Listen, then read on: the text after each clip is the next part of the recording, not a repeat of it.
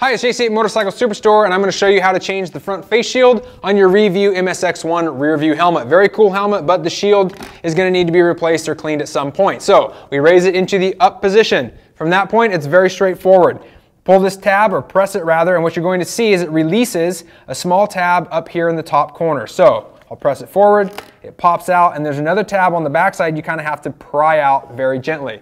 On the other side, same thing, lifts right out. So remember, you can get all your cleaning supplies and replacement shields like this and other helmet accessories at motorcyclesuperstore.com. Then you can put it back on your helmet. So the important thing here, we slip this first tab in and then you have to press the lever again. You can't just slam it shut and press it in.